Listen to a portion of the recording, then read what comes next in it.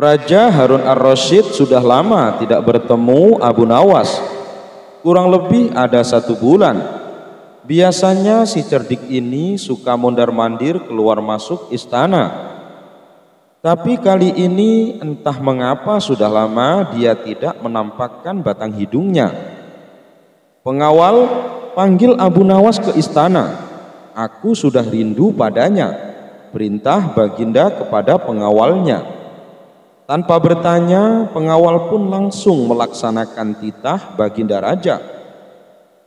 Ada keperluan apa Baginda memanggil hamba ke istana? Tanya Abu Nawas setelah tiba di hadapan Baginda Raja. Begini Abu Nawas, jelas Baginda Raja.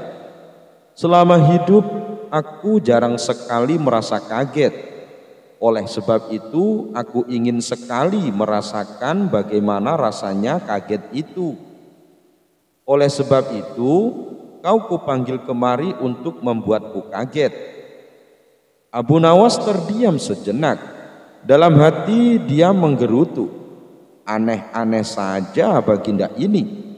Mungkin tidak ada orang di dunia ini yang sengaja kepingin kaget tapi Baginda malah menyuruh orang untuk membuatnya kaget. Mentang-mentang berkuasa, bisa berbuat semaunya. Bagaimana Abu Nawas? Apakah paham maksudku? Tanya Baginda memecah lamunan Abu Nawas. Paham Baginda? Baginda ingin kagetkan? Abu Nawas berkata terbata-bata. Loh, tidak sekedar kaget. Kalau hanya kaget, sekedar kaget, semua orang bisa. Tapi tugasmu membuatku kaget secara beruntun. Gampangnya habis kaget terus kaget lagi. Begitu loh Abu Nawas. Perintah apa-apaan ini? Habis kaget terus kaget lagi. Gumam Abu Nawas dalam hati. Kalau hamba tidak bisa, apa sanksinya baginda? Akhirnya Abu Nawas memberanikan diri bertanya. Tentu saja ada Abu Nawas. Kau harus membersihkan kandang kuda selama tiga bulan. Tapi perintah ini ada imbal baliknya. Kalau ternyata kau bisa melaksanakan tugas ini, hadiahnya satu juta dinar menantimu. Bagaimana? Apakah kamu setuju Abu Nawas? Abu Nawas berpikir sejenak. Sesaat kemudian dia berkata, Baiklah baginda raja, aku terima tantangan ini. Tapi hamba minta izin tinggal di istana selama seminggu untuk mengagetkan baginda. Boleh, jangankan seminggu. Satu bulan pun kau kuizinkan tinggal di istana asalkan bisa membuatku kaget selama dua kali berturut-turut. Abu Nawas pun tinggal di istana. Dia mempelajari situasi istana.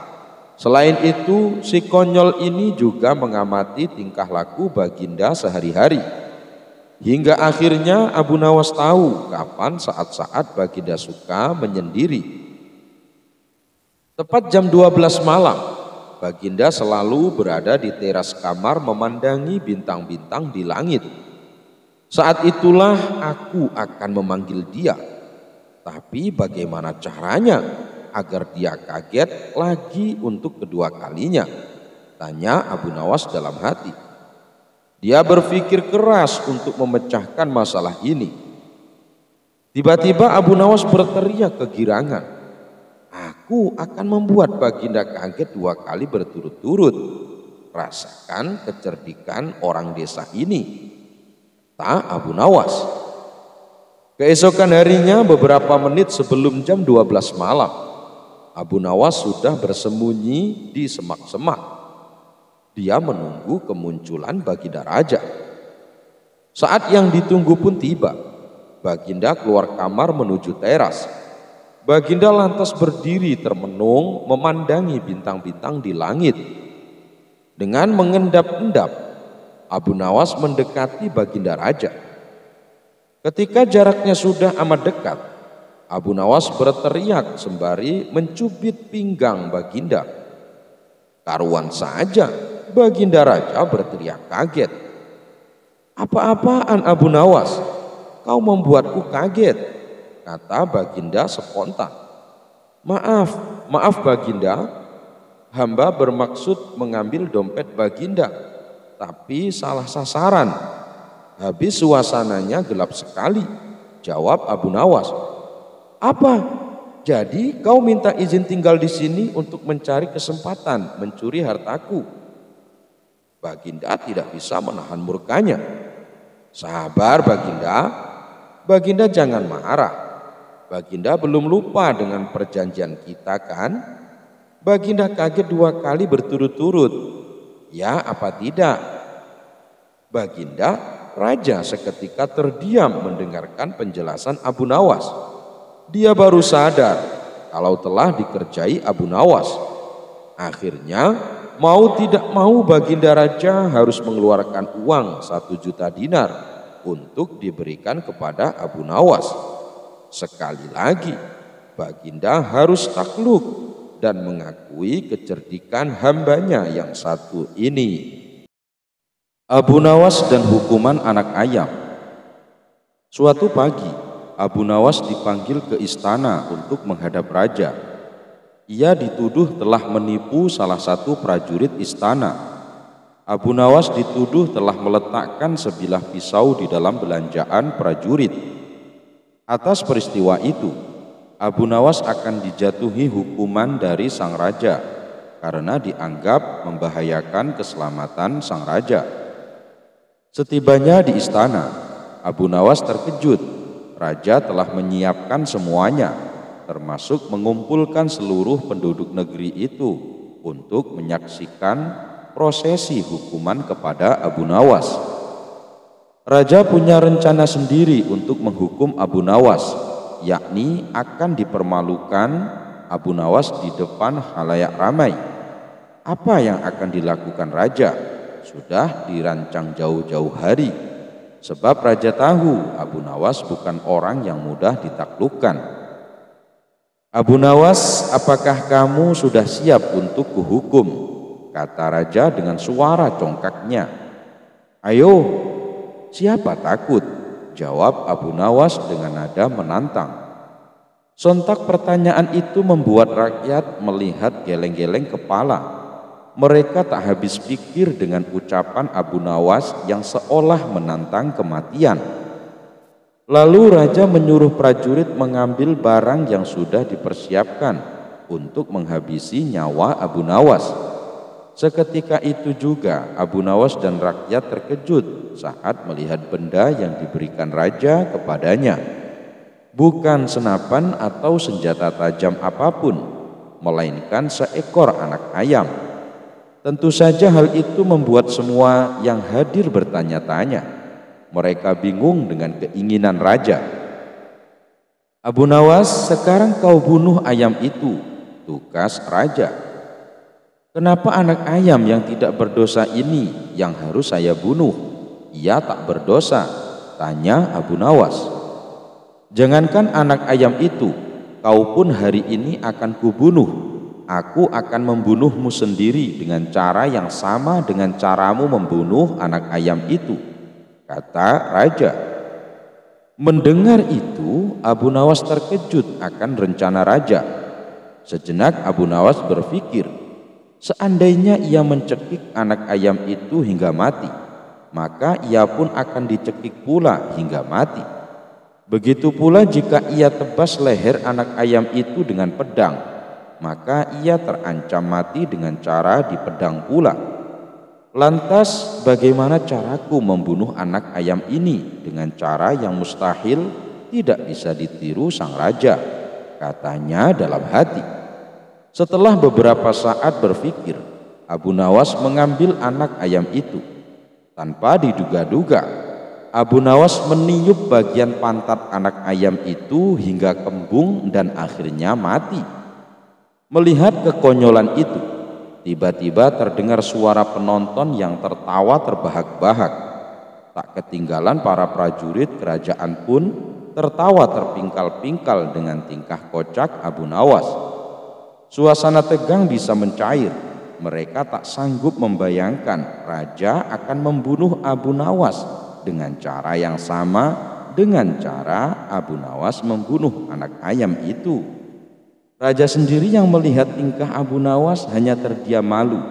Lagi-lagi rakyatnya sendiri telah mengetahui tingkat kecerdasannya yang kalah dibanding Abu Nawas.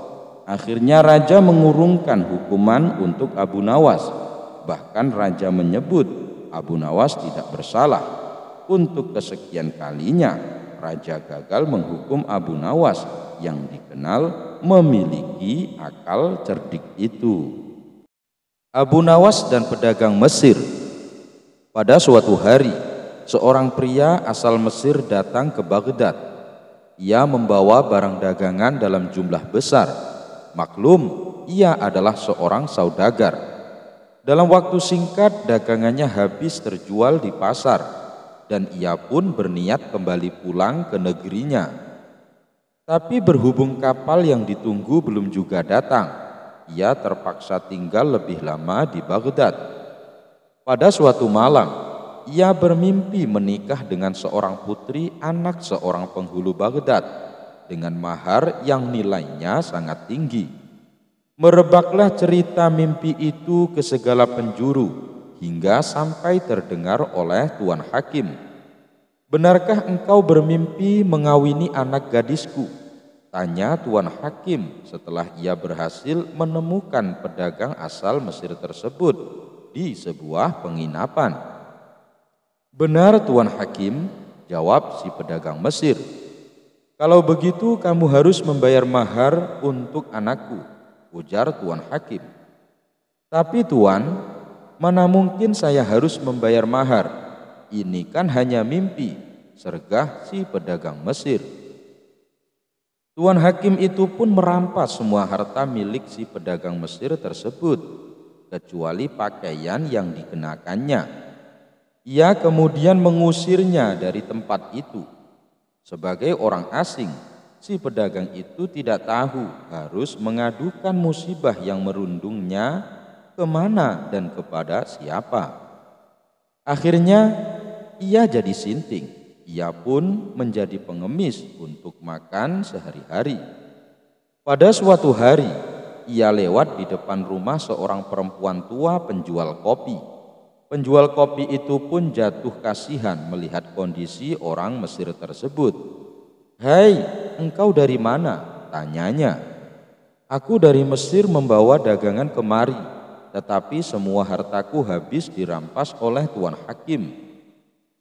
Kalau demikian, sebaiknya engkau menemui Abu Nawas dan ceritakan musibah yang menimpamu itu. Semoga ia bisa membantumu, ujar si ibu tua. Singkat cerita, pedagang Mesir yang malang itu pun pergi menemui Abu Nawas dan menceritakan kemalangan yang menimpanya dengan nada mengiba. Ketika itu Abu Nawas sedang mengajar murid-muridnya di rumahnya. Kata Abu Nawas, Hai anak muda, bersediakah kamu melaporkan kisahmu ini kepada Sultan Harun ar-Rasyid? Bolehkah aku menceritakan segala sesuatunya secara jujur kepadamu, Sultan? Di mana kamu tinggal? Supaya aku mudah mencarimu. Tanya Abu Nawas lagi. Di rumah ibu tua penjual kopi. Dialah yang menampung dan memberiku makan, ujarnya. Begitu pedagang asal Mesir itu pergi, Abu Nawas mengumpulkan murid-muridnya. Sekarang kalian semua boleh pulang, tetapi malam nanti kembalilah kemari sambil membawa cangkul, kapak, batu, dan bakul, katanya. Tentu saja murid-muridnya heran. Aneh guru kita ini, apa yang akan diperbuatnya malam nanti?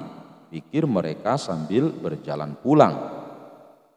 Malam harinya setelah para muridnya berkumpul kembali, Abu Nawas pun berseru, Hai kamu semua, pergilah ke rumah Tuan Hakim, lalu hancurkan rumahnya.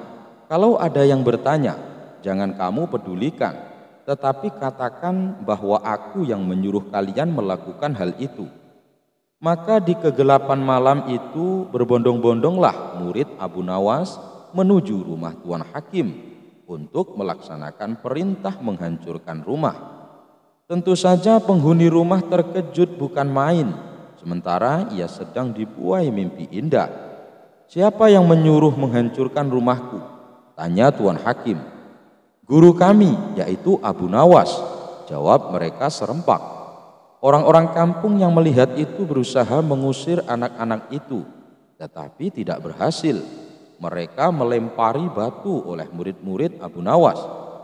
Di selain itu, jumlah orang kampung sangat kecil dibandingkan jumlah murid Abu Nawas.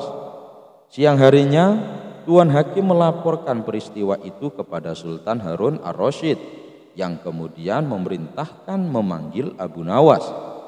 Abu Nawas pun kemudian memanggil pandangan asal Mesir itu. Mereka bertiga menghadap ke istana. Mengapa engkau menyuruh menghancurkan rumah penghulu? Tanya Sultan Harun ar-Rasyid.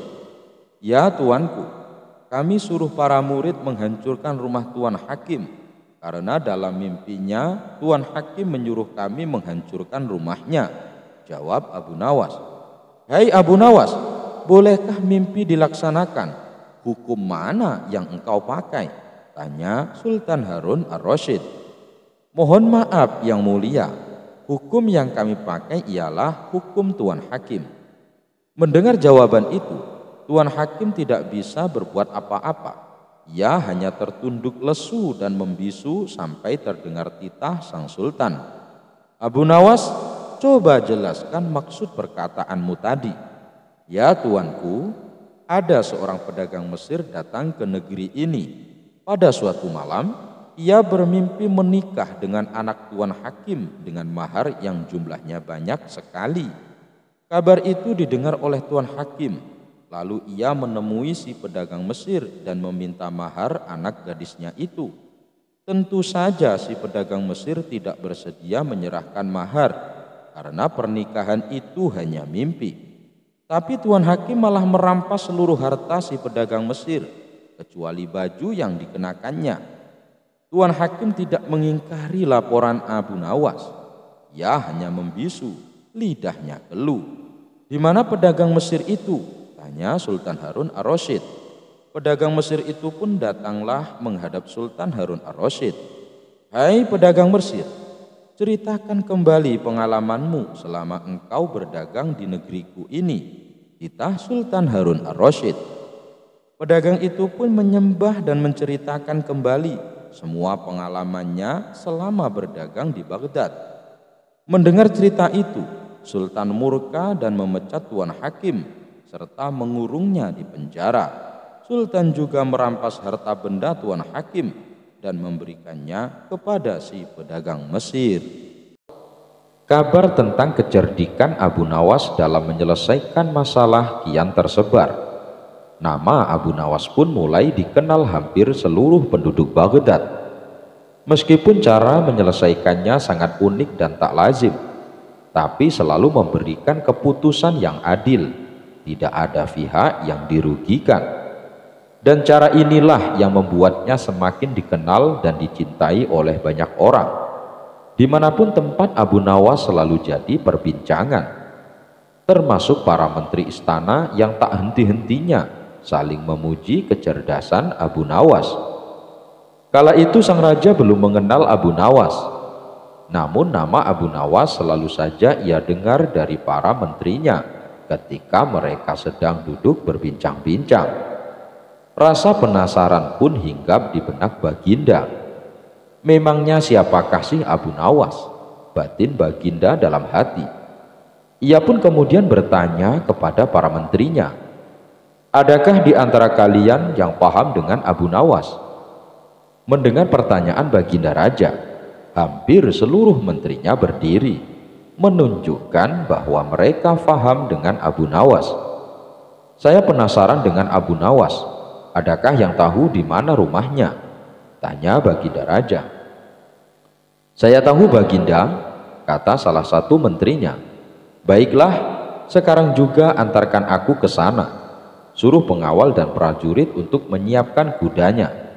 Setelah semuanya siap, rombongan kerajaan langsung berangkat menuju rumah Abu Nawas. Mereka mulai memasuki kota di mana rumah Abu Nawas berada. Hadirnya rombongan kerajaan ke kota membuat suasana heboh. Para penduduk berduyun-duyun mendekati rombongan. Hanya sekedar untuk melihat sosok baginda Raja Harun ar-Rasyid. Sementara Abu Nawas yang sedang asik duduk di rumah diberitahu oleh tetangganya kalau raja dan rombongan istana akan mendatangi rumahnya dan sekarang mereka sudah memasuki gerbang kota. Ada maksud apa baginda mulia ingin menemuiku? Tanya Abu Nawas dalam hati. Ia pun segera keluar rumah melihat arakan-arakan rombongan istana dengan melilitkan handuk di kepala layaknya sorban. Abu Nawas berdiri di pinggir jalan bersama orang-orang Wajarnya kalau sorban bahannya pakai kain. Tapi Abu Nawas malah memakai handuk untuk dijadikan sorban. Ya namanya saja Abu Nawas. Kalau tidak gokil bukan Abu Nawas namanya. Namun justru penampilannya yang nyeleneh inilah yang menyita perhatian sang raja saat rombongan kerajaan melintas di depan Abu Nawas. Sang raja sempat ketawa ia pun tertarik dengan penampilannya dan memerintahkan prajuritnya untuk membawa Abu Nawas ke hadapannya. Siapa kamu? Tanya sang raja. Beberapa menteri di sampingnya membisikkan kepada Baginda kalau orang itulah yang bernama Abu Nawas. Namun jawaban yang diberikan Abu Nawas bikin Baginda melongo. Saya ini Dewa Bumi Paduka yang mulia Baginda Raja tak kalah cerdik dengan jawaban Abu Nawas. Nah, lantaran kamu adalah dewa bumi, tentunya kamu bisa membesarkan mata prajuritku yang sifit ini. Kalau kamu tidak bisa, kamu akan dihukum pancung. Rupanya Abu Nawas lebih cerdik lagi. Berarti baginda ini tidak memahami apa yang saya maksud. Aku ini dewa bumi dan bukan dewa langit kalau memang Baginda menginginkan agar mata prajurit yang sipit itu jadi besar, seharusnya Baginda meminta pertolongan kepada Dewa Langit. Karena dialah yang mengurus segala masalah dari pusar ke atas. Urusanku adalah segala yang berkaitan dengan bagian pusar ke bawah. Karena aku ini adalah Dewa Bumi, jelas Abu Nawas. Setelah itu Raja Harun berbincang-bincang dengan Abu Nawas. Beberapa lamanya berbincang. Raja sangat terkesan akan kebijaksanaan yang dimiliki oleh Abu Nawas. Beberapa hari kemudian sang raja memerintahkan prajuritnya untuk membawa Abu Nawas ke istana. Sejak saat itulah antara Baginda dan Abu Nawas menjalin keakraban. Abu Nawas sering bolak-balik disuruh ke istana hanya sekedar untuk menghibur Baginda Raja. Suatu hari saat Abu Nawas berada di istana bersama Baginda Raja, Abu Nawas diberi tantangan. Ia harus membagi lima butir telur secara adil untuk tiga orang. Syaratnya, telur tersebut tidak boleh dipecah. Kemudian datanglah istri sang raja membawakan lima butir telur di hadapan Baginda dan Abu Nawas. Aku ingin tahu sampai di mana kecerdasanmu. Kamu bagi lima telur ini untuk kita, harus dengan adil, tapi telur ini tidak boleh dipecah. Lalu Abu Nawas pun mengambil lima butir telur tersebut dan berkata, Paduka yang mulia, ini sebutir telur untuk Baginda, sebab Baginda sudah mempunyai dua butir. Untuk saya juga sebutir telur, karena saya sudah mempunyai dua butir. Sedangkan yang tiga butir ini untuk istri Baginda, sebab dia tidak punya sebutir pun. Sejenak Baginda Raja terdiam. Ia masih bingung dengan maksud Abu Nawas. Namun begitu sang raja menyadari maksud ucapan Abu Nawas, ia pun langsung tertawa terbahak-bahak bersama sang permaisuri. Kamu memang cerdas Abu Nawas ini ada hadiah untukmu karena telah berhasil membuat kami terhibur. Abu Nawas berhasil bikin ikan bisa terbang. Beberapa hari terakhir raja begitu gembira. Baginda Raja dihadiahi seekor ikan yang indah dari seorang sahabat yang berada di negeri seberang. Ikan tersebut dilepas dalam kolam dalam istana. Keberadaan ikan ini membuat hati Baginda Raja merasa terhibur. Saat merasa jenuh, sang raja duduk di dekat kolam sambil memandangi ikan yang cantik itu. Lama-lama rasa bosan pun muncul dari sang raja. Dalam pikiran pun mulai menghayal hal-hal yang tidak mungkin terjadi. Andaikan ikan ini bisa terbang, pasti lebih asyik. Fikir Baginda Raja. Hayalan Baginda Raja ini pun dicetuskan kepada seorang menteri yang selalu setia mendampinginya. Wahai menteri, apakah mungkin ikan ini bisa terbang? Tanya Baginda Raja. Mohon ampun yang mulia, saya kira itu sesuatu yang mustahil paduka. Ikan tidak ada sayap seperti burung, jawab menterinya. Bagaimana dengan orang-orang sakti? Apakah mereka bisa membuat ikan ini bisa terbang? Tanya Baginda Raja. Namun lagi-lagi menteri menolak hayalan Baginda Raja dengan alasan habitat ikan ada di air, tidak mungkin bisa terbang seperti burung. Mendengar jawaban menterinya itu, Baginda Raja hanya terdiam sambil sesekali menarik napas dalam. Tentu saja menteri tidak ingin melihat rajanya kecewa dan bersedih. Ia pun memiliki ide untuk memecahkan kebuntuan obrolan itu. Yang mulia, kita panggil saja Abu Nawas. Dia kan terkenal cerdik. Kita suruh saja dia membuat ikan paduka bisa terbang. Usul sang menteri. Usulan itu dianggap masuk akal oleh sang raja. Ia pun meminta menterinya segera memanggil Abu Nawas. Betul juga katamu itu. Cepat panggil Abu Nawas kemari. Titah Baginda Raja. Singkat cerita, Abu Nawas pun menghadap Baginda Raja. Ampun yang mulia, ada gerangan apa Paduka memanggil hamba? Tanya Abu Nawas. Begini Abu Nawas, aku ada perintah untukmu. Jika kamu berhasil melakukannya, aku akan memberikan hadiah seribu dinar untukmu. Kata Baginda Raja. Tentu saja Abu Nawas terkejut uang yang ditawarkan begitu banyak dari biasanya. Tanpa berpikir lagi, Abu Nawas mengiyakan permintaan raja.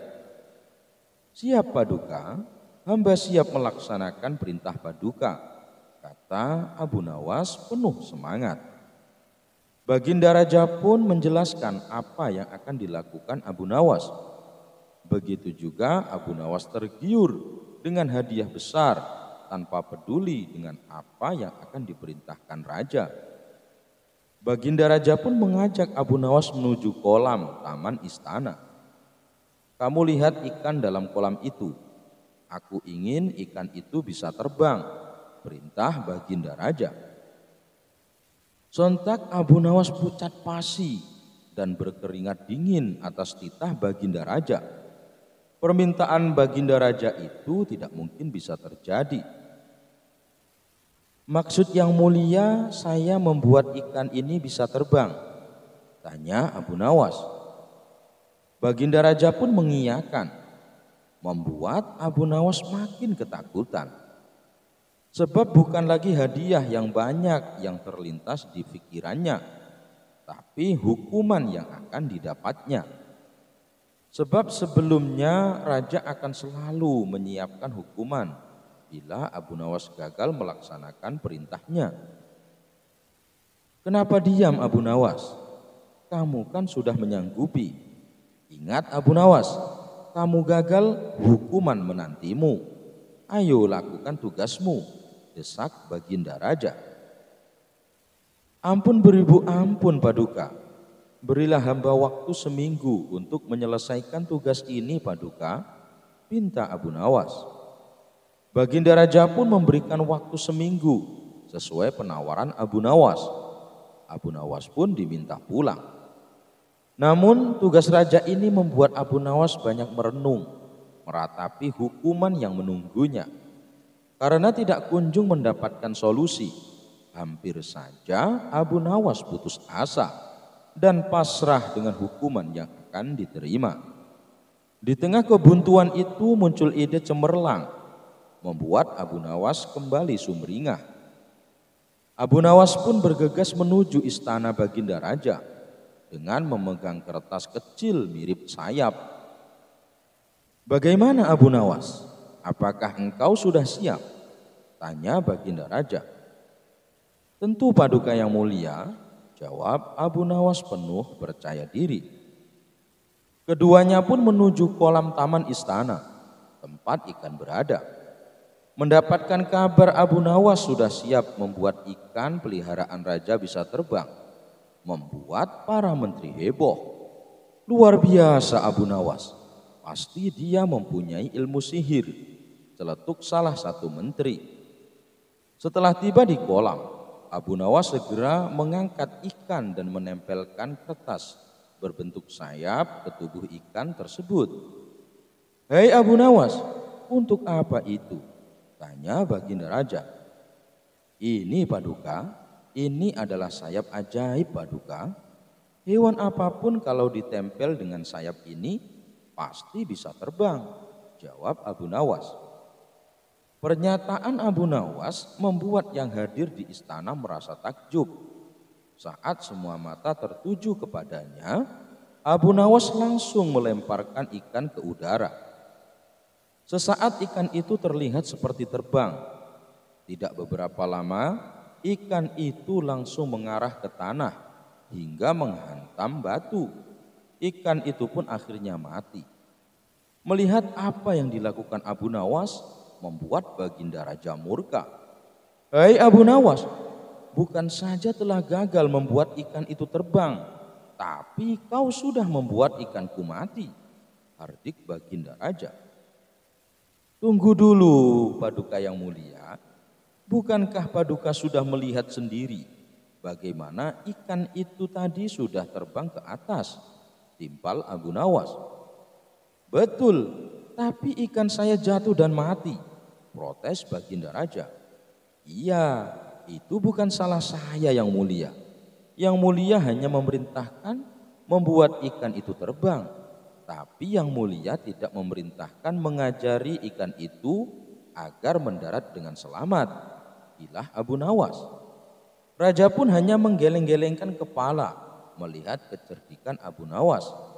Kali ini raja mengalami dua kerugian. Pertama, harus membayar hadiah seribu dinar kepada Abu Nawas. Yang kedua, ikan kesayangannya mati. Abu Nawas pun pulang dengan membawa seribu dinar. Abu Nawas dikalahkan untanya Al-Kisah Di negeri seribu satu malam ada unta yang bisa bicara dengan manusia. Unta tersebut adalah milik tokoh cerdik yang amat terkenal saat itu, yakni Tuan Jambul alias Abu Nawas. Julukan Tuan Jambul ini disematkan karena kebiasaan Abu Nawas yang suka memotong rambutnya dengan model jambul. Pada suatu hari, Abu Nawas mengajak untanya untuk pergi mengembara. Setelah berpamitan terlebih dahulu kepada istrinya, berangkatlah ia dengan si unta lengkap dengan perbekalannya. Mulailah ia menyusuri gurun pasir yang gersang dan panas sekali di siang hari. Apabila malam tiba, dingin yang luar biasa menusuk sampai ke tulang. Perjalanan yang cukup jauh membuat Abu Nawas dan untanya merasa kelelahan. Di bawah mentari dekat pohon kaktus, mereka berdialog. Tuan, apakah perjalanan kita masih jauh? Iya, kita harus melewati dua gurun pasir lagi. Setelah itu, kita baru akan tiba di sebuah desa terdekat setelah sampai di desa itu, kita baru bisa beristirahat lebih lama di sebuah penginapan yang aman dan nyaman. Jawab Abu Nawas.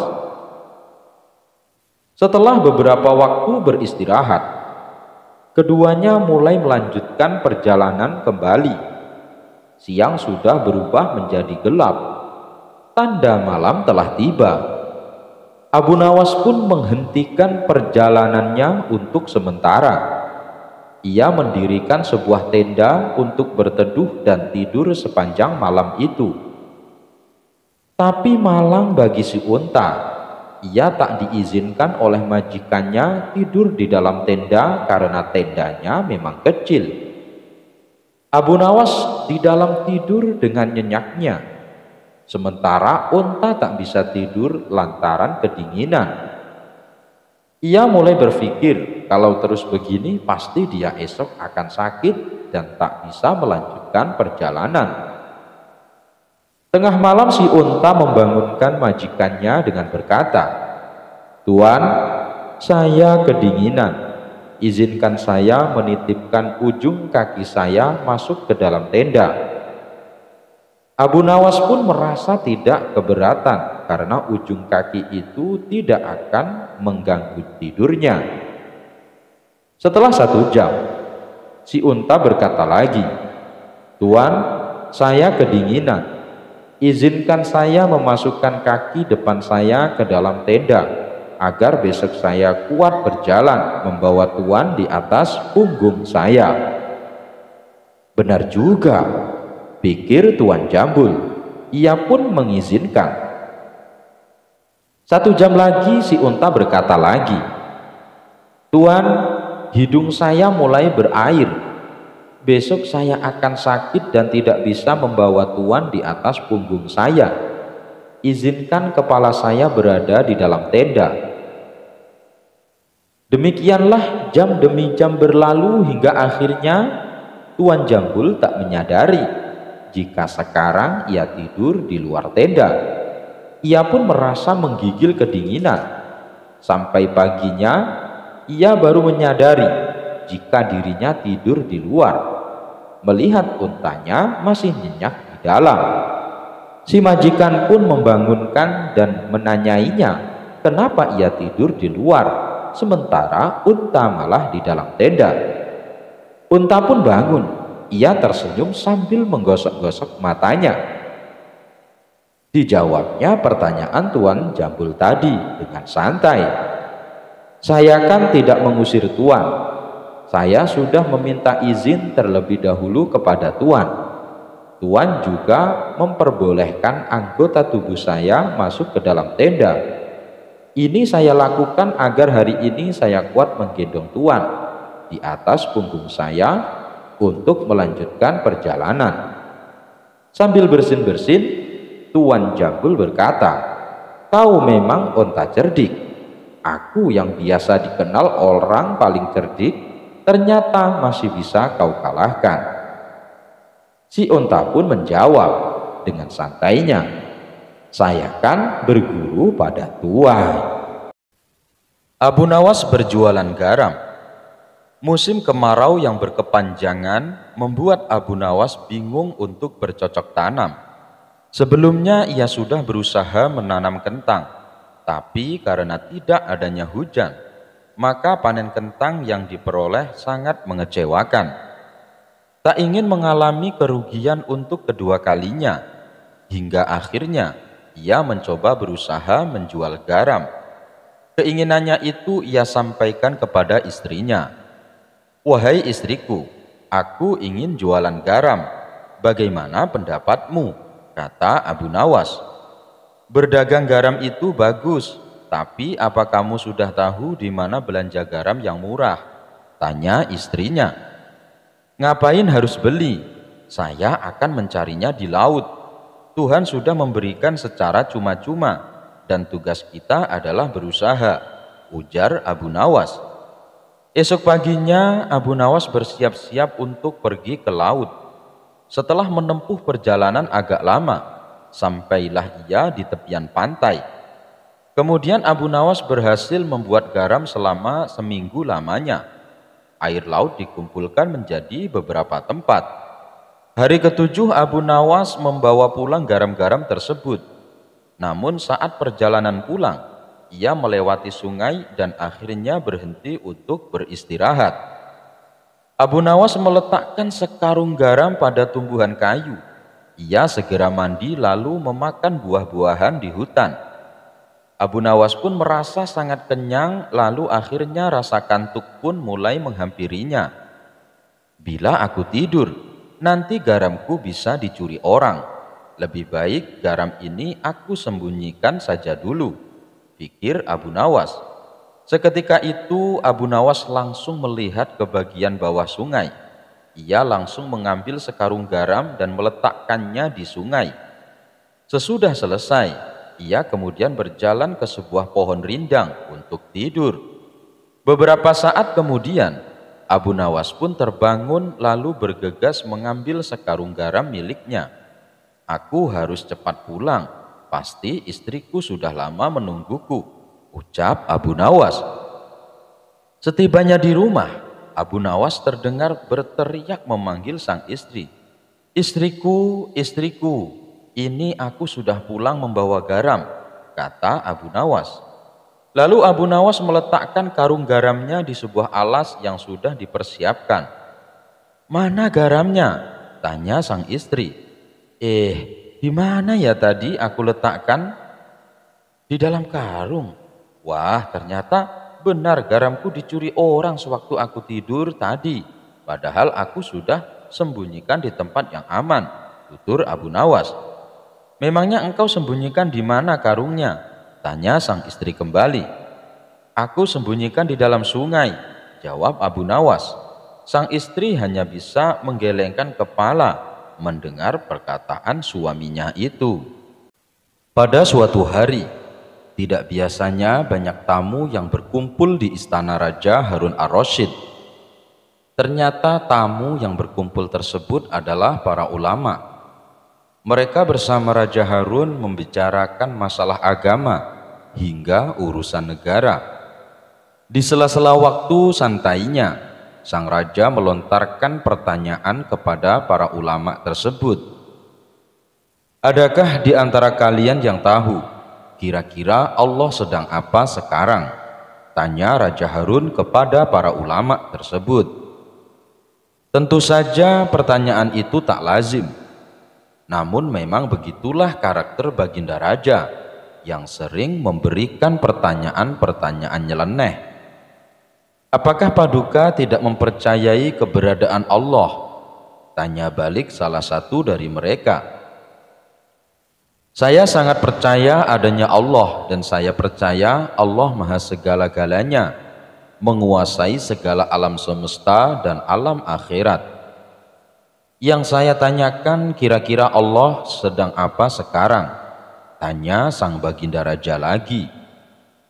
Para ulama saling berpandang-pandangan satu sama lain. Mereka bingung harus menjawab apa. Tidak elok rasanya baginda bertanya seperti itu. Jangan samakan zat Allah dengan manusia, ujar mereka. Sudah saya katakan, saya tidak menyamakan zat Allah dengan apa pun, apalagi dengan manusia saya hanya ingin tahu kira-kira Allah sedang apa sekarang. Kalau kalian tidak tahu, bilang saja tidak tahu. Balas sang raja. Sejenak suasana menjadi hening. Lalu baginda raja teringat dengan sosok Abu Nawas. Mungkinkah Abu Nawas bisa menjawab pertanyaanku ini? Ucap baginda dalam hatinya. Kemudian Baginda Raja menyuruh para pengawal untuk segera memanggil Abu Nawas ke istana. Berangkatlah beberapa pengawal pergi menuju rumah Abu Nawas. Namun saat itu Abu Nawas sedang tidak berada di rumah. Menurut istrinya, dia sedang berada di warung. Para pengawal itu pun langsung bergegas mendatangi warung, tempat Abu Nawas nongkrong bersama warga. Abu Nawas, kamu dipanggil untuk menghadap Baginda Raja sekarang, kata salah satu pengawal itu. Dengan pakaian seadanya, Abu Nawas pun pergi ke istana bersama beberapa pengawal kerajaan. Setibanya di istana, tampak beberapa ulama sedang berkumpul. Sang raja tampak duduk berwibawa di singgasananya. Begitu melihat Abu Nawas, Baginda Raja langsung memanggilnya. Sini ke depan Abu Nawas, titah Baginda Raja. Abu Nawas pun segera merapat ke depan setelah mengucapkan salam kepada para ulama. Belum lagi Abu Nawas duduk sempurna. Tanpa basa-basi Baginda Raja bertanya kepada Abu Nawas. Ini para ulama yang ada di sini tidak ada yang bisa menjawab pertanyaan saya. Saya ingin menguji kecerdasanmu. Apa kamu bisa menjawabnya atau tidak? kata Baginda Raja kepada Abu Nawas. Wahai paduka yang mulia, bukankah beliau-beliau ini adalah ulama yang berilmu agama tinggi, sedangkan hamba hanyalah orang biasa. Rasanya tidak pantas kalau saya yang menjawabnya, sahut Abu Nawas. Tapi kalau boleh tahu, pertanyaan macam apakah yang Baginda tanyakan? Sambung Abu Nawas. Tadi saya bertanya kepada para ulama di sini, kira-kira Allah sedang apa sekarang? Tapi tak ada satupun yang bisa menjawabnya. Apakah kau tahu Allah sedang apa sekarang? Tanya Baginda Raja. Mendengar pertanyaan yang aneh itu, sejenak Abu Nawas terdiam. Saya bisa menjawab pertanyaan itu, tapi ada syaratnya, sahut Abu Nawas. Apakah syaratnya? Tanya Baginda sedikit terkejut. Syaratnya adalah saya harus duduk di singgasana Baginda Raja dan Baginda Raja harus duduk di bawah bersama para ulama. Jawab Abu Nawas. Meski masih heran dan penuh tanda tanya dengan syarat itu, Raja Harun menuruti permintaan tersebut karena penasaran dengan jawaban Abu Nawas. Setelah Abu Nawas duduk di singgasana Baginda Raja Harun ar-Rasyid, Abu Nawas berkata dengan lantang, Kalau Baginda ingin tahu Allah sedang apa sekarang, saksikanlah Allah sedang mengangkat Abu Nawas menjadi raja dan Harun ar-Rasyid jadi rakyat biasa. Spontan Baginda Raja pun tertawa mendengar ucapan Abu Nawas diiringi oleh beberapa ulama yang sedang duduk di sampingnya. Jawaban Abu Nawas itu memiliki makna bahwa apa yang dilakukannya merupakan kehendak Allah Subhanahu wa taala. Kamu memang pintar Abu Nawas, kamu malah memanfaatkan pertanyaan ini untuk bisa duduk di atas singgasanaku. Tapi memang yang kamu katakan itu benar, maka aku pun tak bisa marah kepadamu kata Baginda Raja. Baginda Raja pun memberikan hadiah kepada Abu Nawas atas kecerdasannya itu. Sore itu di sebuah warung, Abu Nawas sedang menikmati secangkir teh hangat. Tiba-tiba dia melihat temannya datang dengan muka yang masam, seolah sedang memendam kesusahan. Dia pun duduk di sebelah Abu Nawas Sore ini cuaca sangat cerah, tapi kenapa mukamu tak secerah sore ini? Abu Nawas memulai perbincangan. Bulan-bulan ini istriku mengeluh tentang tempat tinggal kami, sahutnya. Kenapa? Ada apa dengan rumahmu? Dia mengeluhkan tempat tinggal kami yang menurutnya terlalu sempit untuk kami bertempat tinggal. Kenapa tak kau lebarin saja? kata Abu Nawas menawarkan saran. Kalau ada uang tentu hal ini tak akan terjadi, keluhnya. Abu Nawas merenung sejenak. Dia mencoba mencari akal untuk memecahkan masalah sahabatnya. Setelah dapat akal, dia pun berkata, "Begini, apakah kamu punya uang untuk membeli seekor keledai?" Sahabatnya tak lantas menjawab pertanyaan Abu Nawas karena dia sedikit bingung apa hubungannya membangun rumah dengan membeli seekor keledai. Tapi dalam hatinya dia yakin pada sahabatnya yang satu ini. karena dia selalu mendapat jalan keluar dari masalah apa pun yang ia hadapi. Kemudian ia menjawab, "Ya, untuk membeli seekor keledai saja saya punya." Nah, belilah olehmu seekor keledai, simpan dan uruslah di rumahmu. Ia pun tambah bingung, bagaimana tidak? Tanpa seekor keledai saja rumahnya terasa sempit apalagi kalau ditambah seekor keledai. Tapi dia tak berani membantahnya. Sekali lagi dia yakin pada sahabatnya. Baiklah, saya akan coba saran dari kamu. Dibelilah olehnya seekor keledai dan dibawanya pulang. Sesampainya di rumah langsung saja dia memasukkan keledainya ke dalam rumah sesuai saran dari Abu Nawas Istrinya yang ada di dalam rumah terkejut sambil memarahi suaminya. Dianggapnya suaminya itu sudah tidak waras. Kamu sudah gila ya? Istrinya memarahi dia. Tetapi tak sepatah kata pun yang keluar dari mulutnya. Dia sendiri bingung dengan apa yang telah ia lakukan dengan saran dari sahabatnya sendiri. Keesokan harinya ia kembali menemui Abu Nawas setelah menceritakan apa yang telah terjadi di rumahnya, Abu Nawas malah menyarankannya untuk membeli lagi seekor kambing. Dia pun tambah kebingungan. Bagaimana tidak? Seekor keledai saja sudah sangat merepotkan. Apalagi kalau harus ditambah lagi seekor kambing. Lagi-lagi dia tidak bisa menolak sarannya karena dia percaya akan kecerdikan sahabatnya itu. Dia pun pulang dengan membawa seekor kambing ke rumahnya. Dapat kita bayangkan apa yang bakal terjadi di rumahnya. Untuk kedua kalinya ia kena marah sang istri. Apalagi saran yang ketiga, ia harus membeli lagi seekor angsa, tambah semrawut saja rumahnya. Habislah kesabarannya. Ia tidak kuat lagi tinggal bersama hewan-hewan tersebut dan pergi menemui si pemberi solusi. Abu Nawas cuma tersenyum mendengar curhatan sahabatnya seraya berkata, Berapa uang yang kamu punya sekarang? Tak sepeser pun uang di kantongku, katanya. Sekarang kamu pulanglah dan jual keledaimu.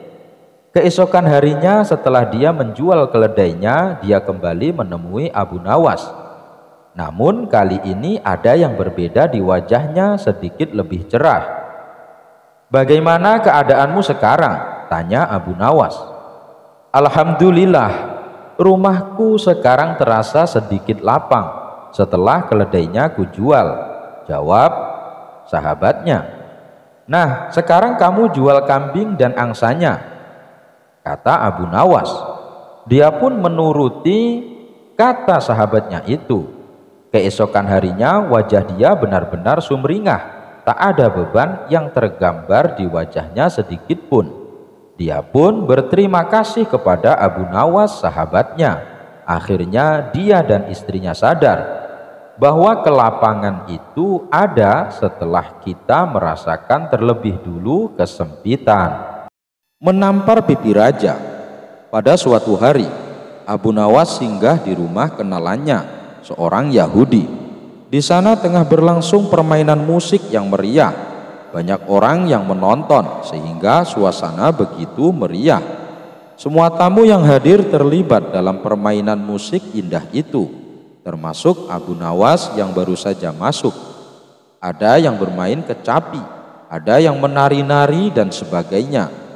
Semuanya bersuka cita. Ketika para tamu sudah kehausan, tuan rumah menyuguhkan kopi kepada para hadirin. Masing-masing mendapat secangkir kopi, termasuk Abu Nawas. Ketika Abu Nawas hendak meminum kopi itu, dia ditampar oleh si Yahudi. Namun karena sudah terlanjur larut dalam kegembiraan, hal itu tak dia hiraukan dan diangkatnya lagi cangkirnya. Tapi lagi-lagi ditampar Ternyata tamparan yang diterima Abu Nawas pada malam itu cukup banyak sampai acara selesai sekitar pukul 2 dini hari. Di tengah jalan baru terpikir oleh Abu Nawas, jahat benar perangai Yahudi itu. Main tampar aja. Kelakuan seperti itu tak boleh dibiarkan berlangsung lama di Baghdad. Tapi apa dayaku hendak melarangnya, pikirnya dalam hati. Aha, aku ada akal, gumam Abu Nawas selanjutnya. Keesokan harinya Abu Nawas menghadap Raja Harun ar-Rasyid di istana. Tuanku, ternyata di negeri ini ada suatu permainan yang belum pernah hamba kenal. Sangat aneh, lapor Abu Nawas. Di mana tempatnya? Tanya Baginda Raja. Di tepi hutan sana Baginda, kata Abu Nawas. Mari kita lihat, ajak Baginda Raja. Nanti malam kita pergi berdua saja dan tuanku memakai pakaian santri, ucap Abu Nawas.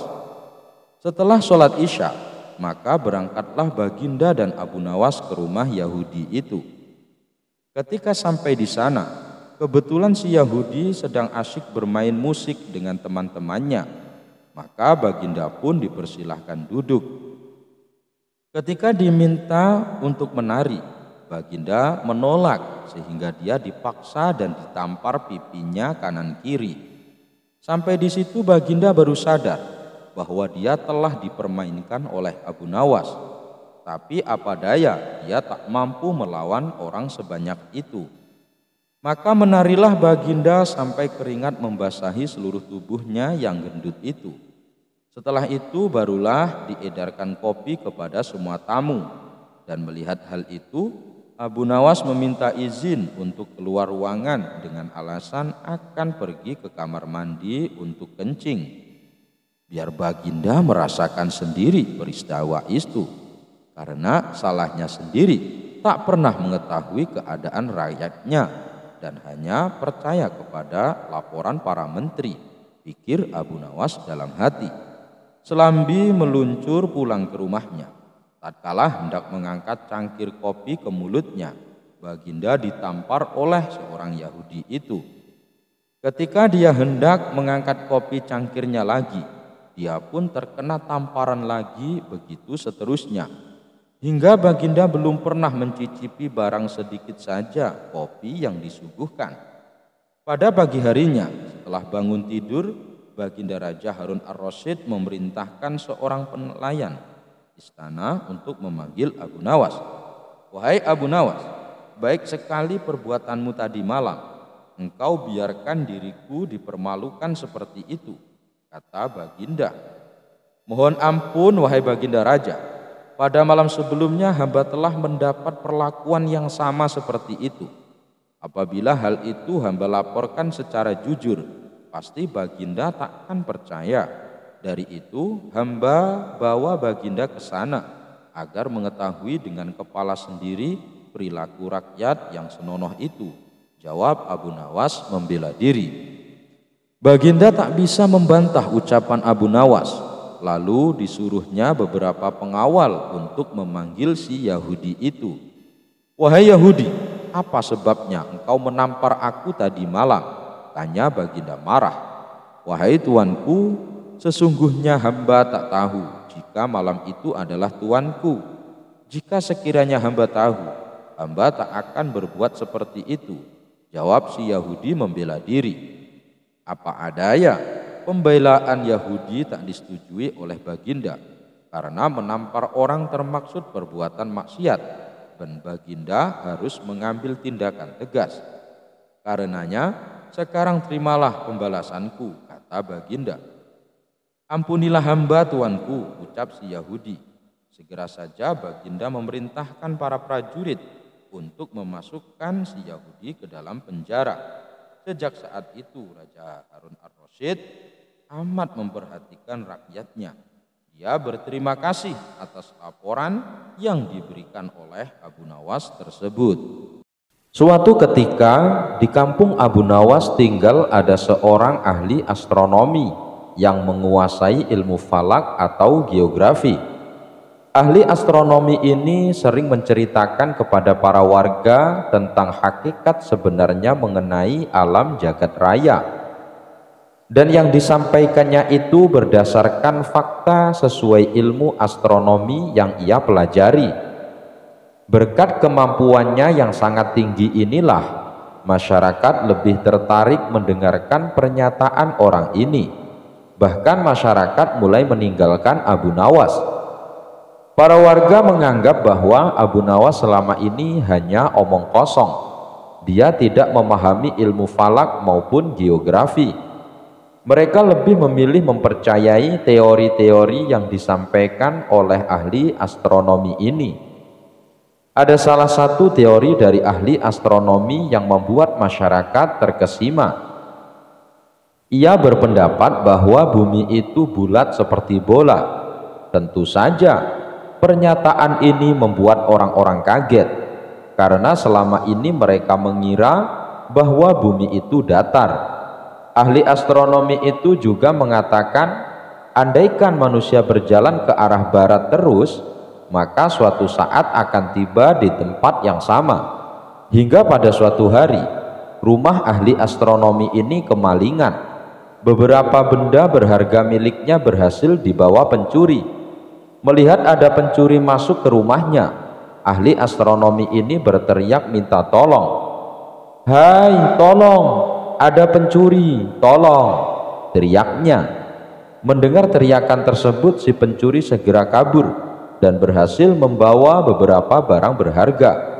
Di saat yang sama, Abu Nawas melintas di depan rumah ahli astronomi ini. Hai Abu Nawas, tolong saya. Rumahku baru saja kemalingan.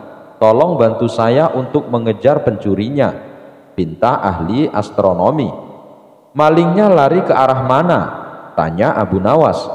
Malingnya lari ke arah barat, jawabnya.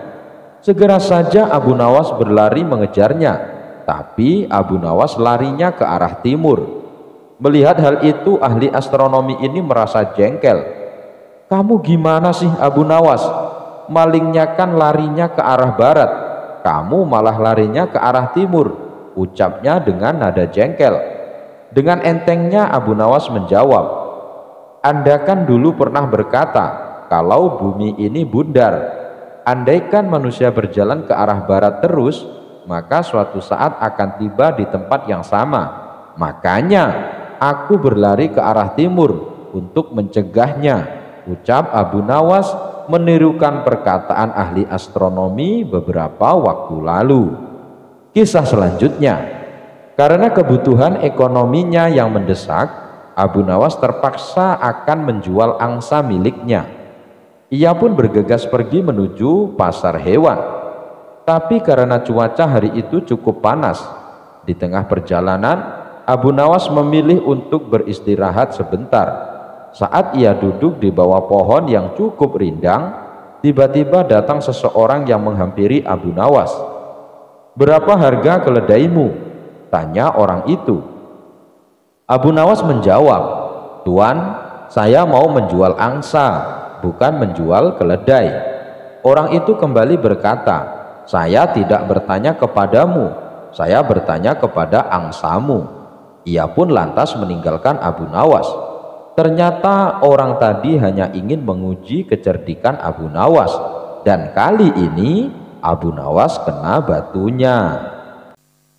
Al-Kisah Suatu ketika Abu Nawas melihat-lihat kebunnya yang sudah lama tidak diurus di saat dirinya asyik melihat-lihat pohon di dalam kebun, tiba-tiba ada suara menghardik. Ngapain kau masuk kebunku? Ujar seorang lelaki yang oleh penduduk setempat berjuluk tuan tanah. Apa? Abu Nawas kaget bukan kepala. Ini kebun milikku. Jangan mengaku-ngaku ya. Lanjut Abu Nawas dengan suara tak kalah kencang. Abu Nawas dan Tuan Tanah sama-sama kukuh mengklaim itu kebun miliknya. Kasus ini jelas ruwet karena pemilik kebun kala itu tidak memiliki surat-surat tanda kepemilikan. Cara musyawarah dan mufakat tak bisa putus. Keduanya mengaku itu kebunnya. Tak ada jalan lain bagi Abu Nawas kecuali melapor kepada Baginda Raja Harun ar-Rasyid. Ini masalah rumit Abu Nawas agar masalahnya bisa diputus secara adil maka mesti ditangani oleh hakim yang bijaksana ujar baginda angkat tangan Baik baginda raja, sambut Abu Nawas dengan ta'zim. Persoalannya, siapa hakim yang akan menangani? Itu bukan perkara mudah. Biasanya urusan yang ruwet seperti ini menjadi pekerjaan Abu Nawas. Ini justru Abu Nawas sendiri yang berperkara. Jadi mesti dicari hakim yang selevel Abu Nawas untuk menangani kasus ini. Baginda Raja Harun ar-Rasyid akhirnya mendapatkan hakim yang paling baik reputasinya di Baghdad. Hakim ini terkenal cerdas dan berwibawa. Orang-orang yang berperkara dengannya selalu puas. Baginda yakin hakim ini akan memutuskan perkara ini dengan adil. Maka pada hari yang sudah ditentukan, sidang pun dilakukan di salah satu ruang di istana. Dalam sidang itu, selain pihak yang bersengketa, hadir juga Baginda Raja Rupanya Baginda ingin tahu siapa sesungguhnya yang mengaku-ngaku dan yang kerok keruwetan ini.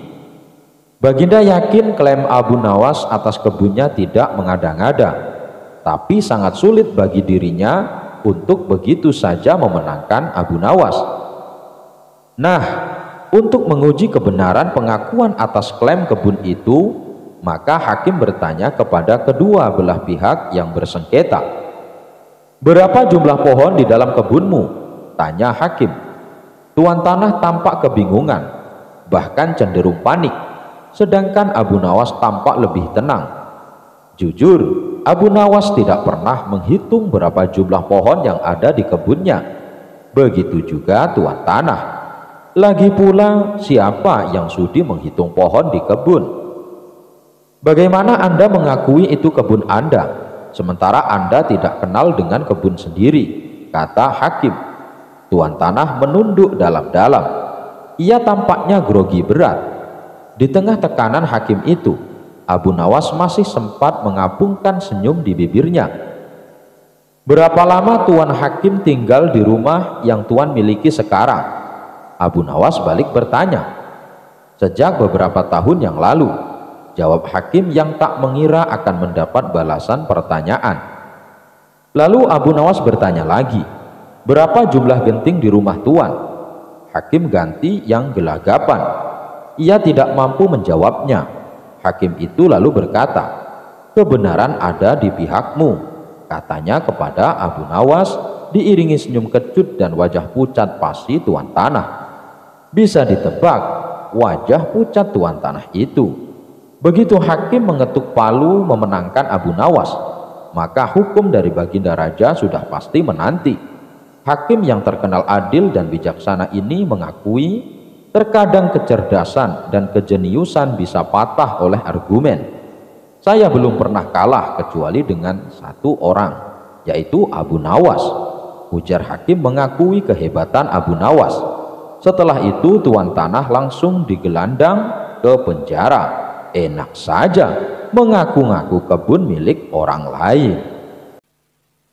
Abu Nawas dan sembilan ekor keledai Suatu hari saat Abu Nawas sedang duduk santai, kemudian datanglah seorang tamu ke rumahnya. Tamu tersebut merupakan saudagar yang paling kaya di kampung. Hai Abu Nawas, aku ada pekerjaan untukmu kata saudagar itu. Pekerjaan apa tuan? Tanya Abu Nawas. Begini Abu Nawas, aku ingin membeli sembilan ekor keledai. Nanti kamu yang mengantarkan keledai tersebut sampai ke rumahku. Kata saudagar itu. Oh, itu sih pekerjaan mudah tuan. Jawab Abu Nawas. Maka mereka berdua pun pergi ke pasar hewan untuk membeli sembilan ekor keledai. Setelah transaksi selesai, saudagar itu berpesan kepada Abu Nawas. Abu Nawas, bawalah sembilan ekor keledai ini sampai ke rumahku. Awas, jangan sampai ada yang hilang. Jangan khawatir tuan, semuanya dijamin beres, ucap Abu Nawas. Kemudian saudagar itu pulang terlebih dahulu, sementara Abu Nawas masih mengatur sembilan keledainya. Setelah semuanya dirasa sudah siap, lalu Abu Nawas menunggangi salah satu keledai. Kemudian dia pun pergi berjalan. Di tengah perjalanan, muncul dalam benak Abu Nawas untuk menghitung keledainya, dan dia pun kaget. Ternyata keledainya berjumlah delapan ekor. Bukankah waktu berangkat ada sembilan ekor? Kenapa hilang satu? Jangan-jangan salah satu keledainya ada yang terpisah. Kata Abu Nawas mulai cemas. Lantas Abu Nawas turun dan mencari keledainya yang hilang. Ia mencari ke sana kemari, namun tak menjumpai apa pun. Abu Nawas mencoba menghitung keledainya kembali Ternyata keledainya utuh sembilan ekor. Berarti tadi aku salah menghitung, kata Abu Nawas dalam hati. Abu Nawas pun kembali menunggangi keledainya dan menggiring semua keledai untuk melanjutkan tugasnya. Selang beberapa saat, Abu Nawas berpikir untuk menghitung kembali jumlah keledainya. Kenapa jumlah keledainya menjadi delapan ekor lagi? Lelucon macam apa ini? Aku dipermainkan oleh keledai. Fikir Abu Nawas. Terpaksa Abu Nawas turun dari punggung keledainya, lalu menghitungnya kembali. Anehnya jumlah keledai menjadi utuh sembilan ekor. Abu Nawas hampir saja gila. Dia berpikir ada seseorang yang sengaja mempermainkan dirinya dia pun bersembunyi di balik semak sambil mengintip sembilan ekor keledainya. Sekarang aku mau melihat bagaimana seekor keledai bisa hilang, ucap Abu Nawas. Namun usahanya sia-sia. Telah menunggu lama jumlah keledainya tetap berjumlah sembilan ekor. Abu Nawas pun memutuskan melanjutkan perjalanan.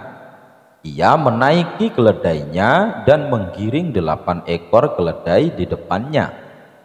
Saat Abu Nawas di atas punggung keledai, ia mencoba menghitung lagi jumlah keledainya. Sungguh aneh, jumlahnya menjadi delapan ekor lagi. Kenapa bisa begini? Ucap Abu Nawas mulai stres. Tiba-tiba datanglah lelaki tua dan menghampiri Abu Nawas Hei Abu Nawas, sepertinya kamu sedang kebingungan. Sapa kakek tua. Aku heran dengan keledai-keledai ini, balas Abu Nawas. Bagaimana bisa ada seekor keledai yang hilang, lalu muncul kembali? Lanjut Abu Nawas. Lelaki tua itu faham dengan apa yang menimpa Abu Nawas. Dia pun tertawa dan berkata, Sini turun, dari keledaimu dan hitung berapa jumlah keledaimu kata kakek tua itu. Nawas turun dan kembali menghitungnya. Iya benar kek. Jumlahnya ada sembilan ekor ucap Abu Nawas. Sekarang pulanglah dan giring semua keledaimu. Jangan biarkan hayalanmu menguasaimu kata kakek tua Abu Nawas mengikuti kata kakek tua tadi dan segera melanjutkan perjalanan. Lagi-lagi saat Abu Nawas menaiki keledainya, ia menghitung jumlah keledai yang digiring. Jumlahnya hanya delapan ekor. Abu Nawas langsung berteriak minta tolong pada si kakek tua. Lihatlah kek, aku tidak berhayal. Jumlahnya menjadi delapan ekor, kata Abu Nawas. Hei Abu Nawas, kamu hanya menghitung keledai di hadapanmu, sementara keledai yang kau tunggangi tidak dihitung. Ya jelas saja jumlahnya hanya delapan ekor. Kata kakek tua kembali tertawa. Abu Nawas seketika kembali menyadari kelalaiannya. Ternyata sepandai-pandainya orang atau secerdik-cerdiknya orang suatu saat pasti akan merasakan kelalaian. Raut muka sedih terlihat pada diri Abu Nawas sebab ia telah kehilangan burung yang amat ia sayangi. Ia tak ingin kesedihannya berlarut-larut. Akhirnya Abu Nawas berinisiatif membeli burung yang baru. Maka pergilah Abu Nawas ke pasar burung di kota Baghdad. Setibanya di pasar burung, Abu Nawas langsung mendatangi salah satu toko. Selamat siang tuan, Anda mencari burung jenis apa tuan? Tanya si pedagang kepada Abu Nawas. Saya mau melihat-lihat dulu. Nanti kalau sekiranya ada yang cocok, baru aku beli. Jawab Abu Nawas. Tiba-tiba dengan tanpa sengaja, Abu Nawas melihat ada burung yang sangat indah sekali. Bulunya berwarna-warni dan berkemilau Burung apa itu? Saya baru melihatnya, tanya Abu Nawas. Oh, ini burung dari India, Tuan. Apakah Tuan berminat? Tanya balik si pedagang. Iya, saya sangat tertarik. Tapi apakah burung ini bisa berkicau? Tanya Abu Nawas. Waduh, sayang sekali tuan. Burung ini tidak bisa berkicau, tapi burung ini bisa bicara seperti manusia. Bahkan ia bisa diajak bicara, dan satu lagi tuan, burung ini sangat cerdik, jawab si pedagang. Benarkah itu tuan? Tanya Abu Nawas kaget. Abu Nawas lalu mencoba mengajak burung tersebut untuk berbicara. Dan benar saja, burung itu bisa diajak berbicara layaknya manusia. Baiklah, aku beli burung ini, kata Abu Nawas kepada si pedagang. Setelah transaksi pembayaran selesai, Abu Nawas langsung membawa pulang burung tersebut. Setibanya di rumah, Abu Nawas menaruh burungnya ke dalam sebuah sangkar yang indah. Suatu ketika, saat Abu Nawas sedang asyik bercengkrama dengan sang burung, datanglah beberapa pengawal istana ke rumahnya. Tuan Abu Nawas, Anda diperintahkan baginda raja untuk menghadapnya sekarang, kata salah satu pengawal. Oh baiklah, saya akan segera ke sana. Kalian pergilah dulu, nanti saya akan menyusul balas Abu Nawas. Singkat cerita, Abu Nawas pun datang ke istana menghadap Baginda Raja. Ternyata Baginda akan mengutus Abu Nawas pergi ke negeri India untuk suatu urusan. Sepulangnya di rumah, Abu Nawas langsung berkemas dan bersiap-siap. Ia tak lupa berpamitan kepada burung barunya. Hai burung, aku tahu kamu berasal dari India, dan Baginda Raja akan mengutusku ke negerimu. Apakah kamu punya permintaan atau titipan? Atau mungkin saja kamu kangen dengan makanan India? aku bisa membawakannya untukmu, kata Abu Nawas. Aku mohon dan aku meminta kepadamu, lepaskan aku dari sangkar ini. Itulah permintaanku, jawab si burung. Kalau itu permintaannya, aku tidak bisa. Aku tak mungkin melepaskanmu. Aku membelimu dengan harga mahal kau sekarang sudah menjadi milikku ujar Abu Nawas baiklah kalau kau memang tak bisa memenuhi permintaanku yang pertama tapi bila permintaanku kedua ini kau penuhi aku akan sangat senang balas si burung apa permintaan keduamu tanya Abu Nawas Tolong jika kau telah sampai di negeri India, pergilah ke sebuah hutan di desa ini. Kabarkanlah kepada saudara-saudaraku maupun teman-temanku bahwa saat ini aku berada dalam sebuah sangkar di rumahmu. Melalui kabar ini, aku berharap mereka tidak gelisah mencariku. Itu permintaanku, tutur si burung. Memangnya semua burung yang jenisnya seperti kamu bisa mengerti bahasa manusia? Tanya Abu Nawas. Iya, mereka yang jenisnya seperti aku pasti bisa mengerti bahasa manusia dan bisa bicara seperti aku. Jawab si burung. Oh, baiklah, aku akan berusaha memenuhi permintaanmu kali ini ucap Abu Nawas. Abu Nawas akhirnya berlayar ke negeri India. Sesampainya di negeri itu, Abu Nawas langsung melaksanakan tugas dari Baginda Raja. Dan setelah tugas-tugasnya selesai, barulah Abu Nawas menuju hutan di desa yang dimaksud oleh burungnya. Tak disangka-sangka, baru saja memasuki hutan beberapa puluh meter, Abu Nawas melihat sekawanan burung hinggap di sebuah dahan pohon. Tepat di atas kepalanya, ia melihat burung tersebut mirip dengan burung yang ada di rumahnya.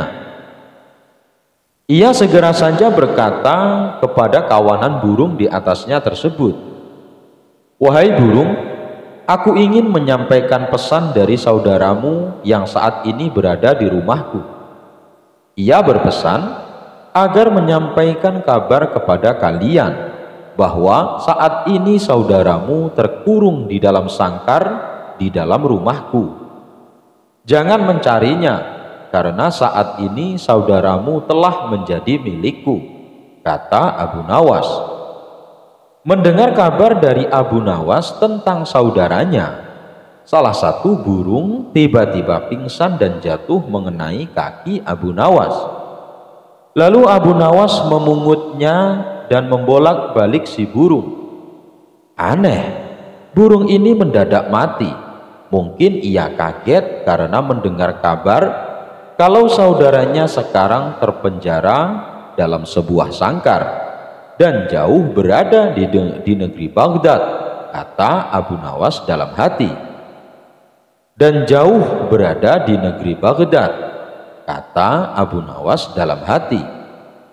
Abu Nawas tak ambil pusing atas kejadian ini. Yang penting ia telah menyampaikan pesan si burung kepada saudara-saudaranya. Ia lalu memutuskan berlayar kembali dan pulang ke Baghdad Setiba di rumah, Abu Nawas memberitahu kepada burungnya bahwa permintaannya telah ia sampaikan. Bagaimana kabar saudara-saudaraku? Apakah mereka baik-baik saja? Tanya si burung. Semuanya baik-baik saja, tapi ada salah satu burung yang tiba-tiba langsung mati saat mendengar kalau kamu sekarang berada di Baghdad, kata Abu Nawas menjelaskan. Mendengar berita yang disampaikan Abu Nawas, burung yang ada di sanggar pun tiba-tiba pingsan dan jatuh. Abu Nawas kaget, ia segera mengambil burung tersebut. Setelah dibolak-balik, ternyata burungnya mati mendadak. Oh, mungkin ini gara-gara mendengar kabar kalau saudaranya telah mati. Ia jadi kaget dan mati seketika. Fikir Abu Nawas. Abu Nawas menjadi sedih. Ia segera menggotong burungnya dan menempatkannya di bibir jendela. Namun, tiba-tiba saja burung ini segera terbang dan hinggap di salah satu pohon di dekat jendela. Sebelum si burung terbang, Sebelum si burung terbang tinggi, ia berkata kepada Abu Nawas, Wahai Tuan, ketahuilah yang kau anggap kesedihan bisa jadi merupakan kabar baik bagi yang lain. Mungkin Tuan bersedih karena aku lepas dari sangkarmu, tapi aku bahagia karena bisa lepas dari sangkarmu. Si burung lalu terbang tinggi meninggalkan Abu Nawas. Ternyata benar apa yang dikatakan si penjual burung. Burung itu bukan hanya bisa bicara, tapi juga cerdik. Saya telah dikelabui oleh burung tersebut, ujar Abu Nawas. Abu Nawas ditangkap dan diborgol karena membohongi prajurit kerajaan. Pada suatu pagi hari, Abu Nawas sedang duduk-duduk bersantai di teras rumahnya. Beberapa saat kemudian datanglah beberapa prajurit. Pak tua, di manakah aku bisa menemukan tempat untuk bersenang-senang di daerah sekitar sini? Tanya seorang prajurit yang ternyata komandan prajurit. Kalau tidak salah di sebelah sana, jawab Abu Nawas malas-malasan. Di manakah tempat itu? Tanya prajurit lainnya dengan sifat yang tidak menghargai. Pergilah ke arah sana, lurus tanpa belok-belok, maka kalian akan menjumpai tempat untuk bersenang-senang. Jawab Abu Nawas. Rombongan tentara kerajaan itu akhirnya pergi juga menuju tempat yang sudah ditunjukkan oleh Abu Nawas. Setelah beberapa saat, kagetlah mereka semua karena tempat yang mereka cari tidak ditemukan. Kecuali hanya sebuah komplek kuburan yang sangat luas. Dan tentu saja hal ini membuat para prajurit beram karena merasa telah ditipu oleh Abu Nawas. Mereka pun kembali lagi ke tempat Abu Nawas. Wahai Pak Tua, keluarlah engkau. Kenapa engkau berani sekali membohongi kami? Tanya sang komandan yang tidak tahu kalau yang diajak bicara itu sebenarnya adalah Abu Nawas, si penasehat kerajaan. Siapakah engkau ini? Berani sekali membohongi kami. Tanya salah seorang prajurit. Aku adalah abdi, jawab Abu Nawas. Terkesan asal bicara, komandan dan para prajurit merasa geram dan marah. Prajurit, tangkap dia, perintah komandan kepada anak buahnya.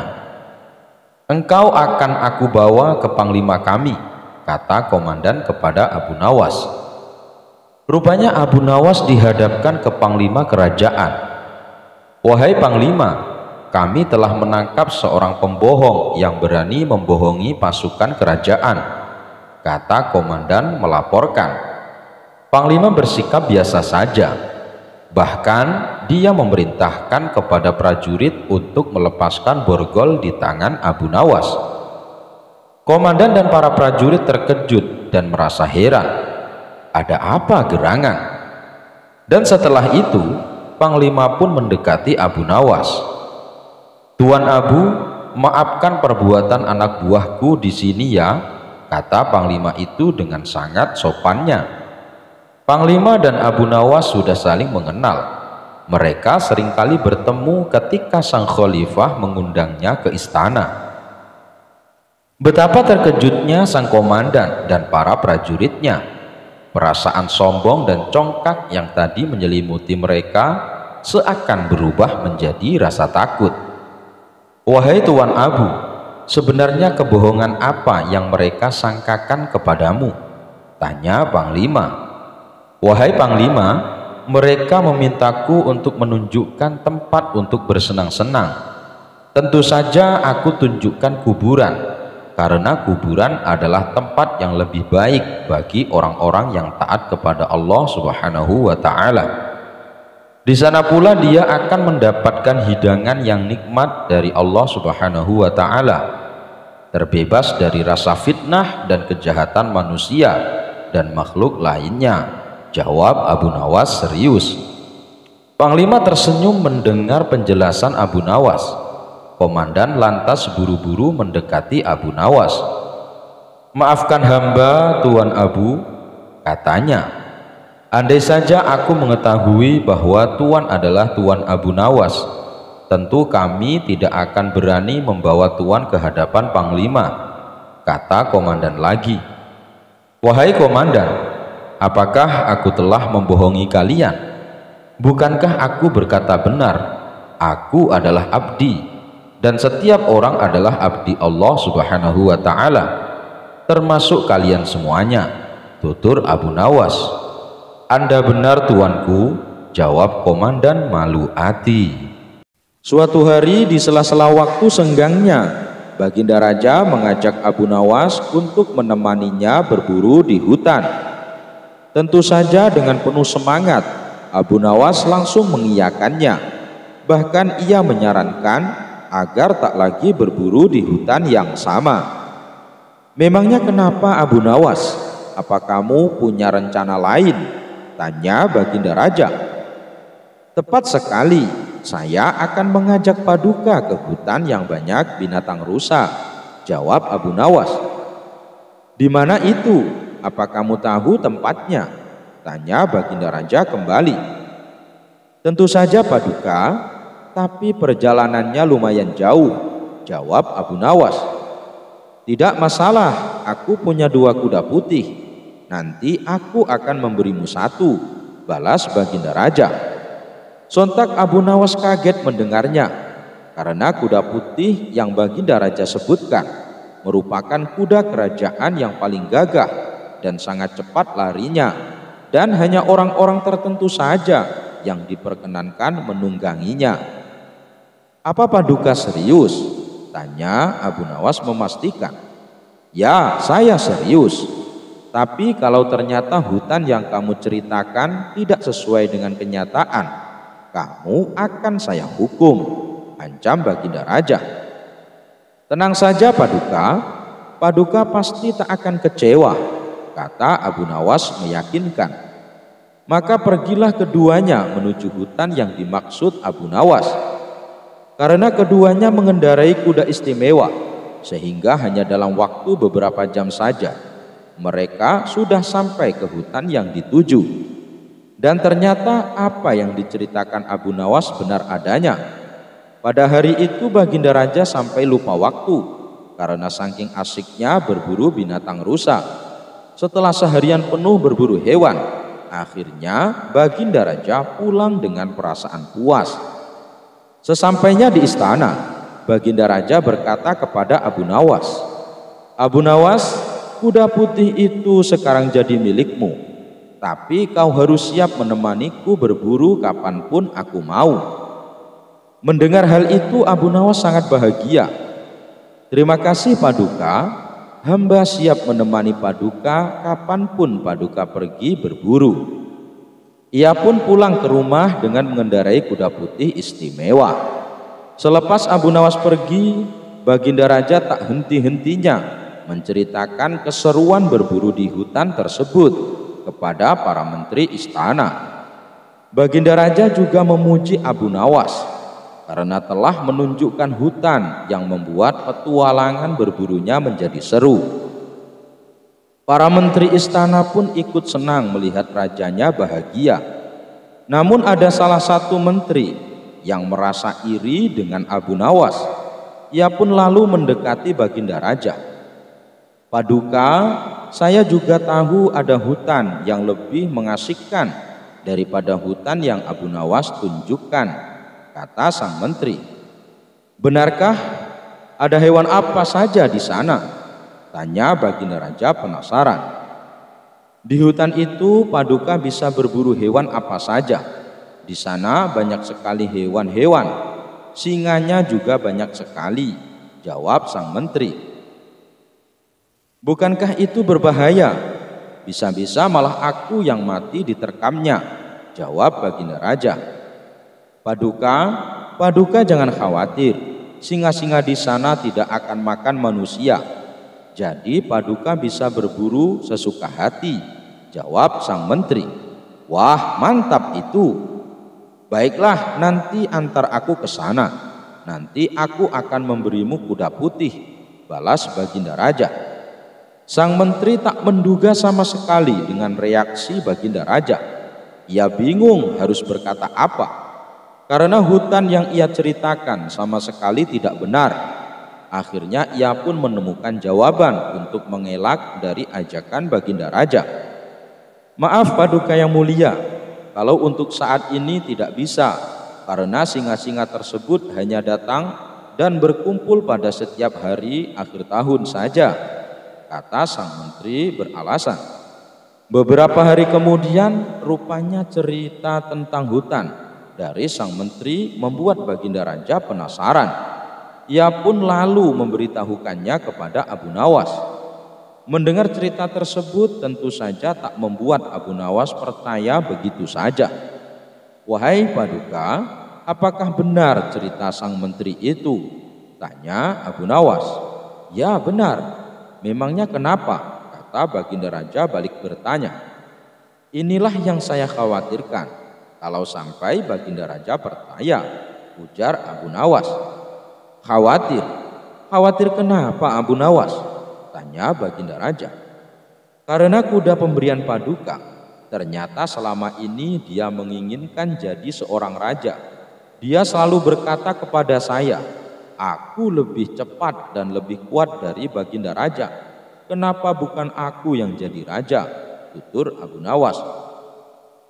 Hah, yang benar saja. Apakah kuda itu bisa bicara? Tanya Baginda Raja heran. Dengan tersenyum Abu Nawas menjawab, tentu saja tidak paduka, kuda itu tidak bisa berbicara. Saya hanya ingin menunjukkan kepada paduka bahwa terkadang kita harus waspada terhadap omongan yang tidak masuk akal. Seketika Baginda Raja baru tersadar bahwa hutan yang diceritakan sang menteri tidak benar adanya ia pun lalu memanggil menteri tersebut untuk bisa menunjukkan di mana hutan itu berada. Sang menteri lagi-lagi mengelak ajakan Abu Nawas yang membuat Baginda Raja menjadi emosi. Kamu jangan alasan, kalau kau tidak bisa menunjukkannya sekarang, kamu akan saya hukum lima tahun penjara. Tapi kalau kamu jujur mengakui kebohonganmu, maka hukumanmu akan saya potong jadi satu bulan. Bentak Baginda Raja. Akhirnya sang menteri mengakui perbuatannya dan mendapat hukuman satu bulan penjara. Untuk kesekian kalinya, Baginda Raja ingin kembali menguji kecerdasan Abu Nawas. Ia mengatakan kepada Abu Nawas bahwa dirinya ingin sesuatu yang tidak ada di dunia Tentu saja keinginan bagi daraja tersebut sempat membuat Abu Nawas bingung. Sesuatu apakah itu yang Paduka maksud? Tanya Abu Nawas. Apa pun Abu Nawas, yang pasti sesuatu yang tidak ada di dunia. Jawab Baginda Raja. Baiklah Paduka, beri saya tiga hari untuk mencarinya. Balas Abu Nawas. Kemudian ia pun pamit undur diri dari hadapan Baginda Raja. Dalam kurun waktu tiga hari, Abu Nawas belum juga mendapatkan jawaban atas permasalahan yang dihadapi. Hingga waktu yang ditentukan tiba, Abu Nawas belum juga mendapatkan solusi. Ia pun pasrah bila seandainya harus mendapat hukuman dari Baginda Raja Ketika ia hendak bersiap-siap pergi ke istana, matanya tertuju pada sebuah peti kecil yang sudah berumur dan sangat lapuk. Dari mana kau dapatkan peti itu? Tanya Abu Nawas kepada sang istri. Aku menemukannya di gudang. Sayang kalau tidak dimanfaatkan, balas sang istri. Karena penasaran, Abu Nawas mendekati peti tersebut dan kemudian membukanya. Ternyata isinya kosong. Dari sinilah muncul sebuah ide cermerlang pada diri Abu Nawas. Dengan penuh percaya diri, Abu Nawas segera berangkat ke istana dengan membawa peti yang baru saja ditemukan. Setelah sampai di istana, ia pun langsung menghadap Baginda Raja. Bagaimana Abu Nawas? Apakah kau sudah mendapatkan yang kuinginkan? Tanya Baginda Raja. Sudah Paduka, saya menyimpannya di dalam peti ini. Jawab Abu Nawas sambil menunjukkan peti yang dibawanya. Apa isinya Abu Nawas? Tanya Baginda Raja penasaran. Yang pasti sesuatu yang tidak ada di dunia ini sesuai dengan permintaan paduka. Jawab Abu Nawas. Baik, coba berikan peti itu padaku. Lalu dengan sangat hati-hati Abu Nawas mengangkat dan menyerahkannya pada Baginda Raja. Seolah di dalam peti tersebut berisi sesuatu yang sangat berharga. Melihat cara Abu Nawas memperlakukan peti dengan sangat hati-hati, semakin membuat Baginda Raja penasaran akan tetapi saat Baginda Raja membukanya, ternyata isinya kosong, tidak ada apa-apanya. Mana isinya Abu Nawas? Aku tidak melihatnya. Tanya Baginda Raja. Dengan entengnya Abu Nawas menjawab, Begini paduka yang mulia, sesuatu yang tidak ada di dunia tidak mungkin bisa terlihat di dunia Mendengar hal itu Baginda Raja pun tertawa dan mengakui kecerdikan Abu Nawas. Al-Kisah Suatu hari Abu Nawas mondar-mandir kebingungan disebabkan dia hanya punya waktu tiga hari lagi untuk melunasi semua hutang-hutangnya. Jika tidak mampu melunasinya, dipastikan Abu Nawas akan dipenjarakan dan aset hartanya akan disita oleh kerajaan Khalifah Harun ar-Rasyid. Abu Nawas harus mencari akal agar aset hartanya yang tersisa tidak disita oleh pengadilan kerajaan. Selama tiga hari tiga malam, Abu Nawas tidak karuan tidur dan makan. Dia berpikir sepanjang hari dan sepanjang malam.